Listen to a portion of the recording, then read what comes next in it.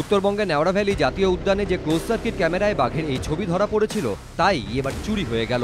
বন দফতর সূত্রে দাবি, জাতীয় উদ্যানে মোট আটটি সিসি ক্যামেরা বসানো হয়। তার মধ্যে একটি চুরি হয়েছে। রবিবার টহল দেওয়ার সময় বনকর্মীরা দেখেন, গাছে লাগানো একটি ক্যামেরা উধাও। নেওড়া ভ্যালি জাতীয় উদ্যানের বিস্তৃতি অষ্টআশি বর্গ কিলোমিটার। প্রায় চল্লিশ বছর পর সম্প্রতি এখানে বাঘের দেখা মেলে। উনিশে জানুয়ারি পেডংয়ের বাসিন্দা হরকা বাহাদুর ছেত্রী নামে এক গাড়ি চালকের মোবাইল ফোনের ক্যামেরায় প্রথম ধরা দেয় রয়্যাল বেঙ্গল টাইগার। এরপরই বন দপ্তর তৎপর হয়ে জাতীয় উদ্যানে ক্যামেরা ট্র্যাপ বসায়। তেইশে জানুয়ারি সেই ট্র্যাপে ধরা পড়ে আরও একটি বাঘের ছবি। পনেরোই ফেব্রুয়ারি রাতে আবারও ক্যামেরা ট্র্যাপে দেখা যায় রয়্যাল বেঙ্গলের ছবি। এক মাসের মধ্যে পরপর বাঘের ছবি দেখে বন আধিকারিকেরা উচ্ছ্বসিত তো হয়েছিলেনই। সেই সঙ্গে তারা কার্যত নিশ্চিত ছিলেন জঙ্গলে একাধিক বাঘ রয়েছে। সেই সংখ্যা এবং অবস্থান সম্পর্কে নিশ্চিত হতেই বাড়ানো হয় ক্লোজ সার্কিট ক্যামেরার সংখ্যা।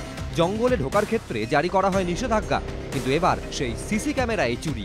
সোমবার এ নিয়ে কালিম্পং থানায় অভিযোগ দায়ের করা হয়েছে। কিন্তু জাতীয় উদ্যানে ঢুকে কারাই কুকীর্তি করল।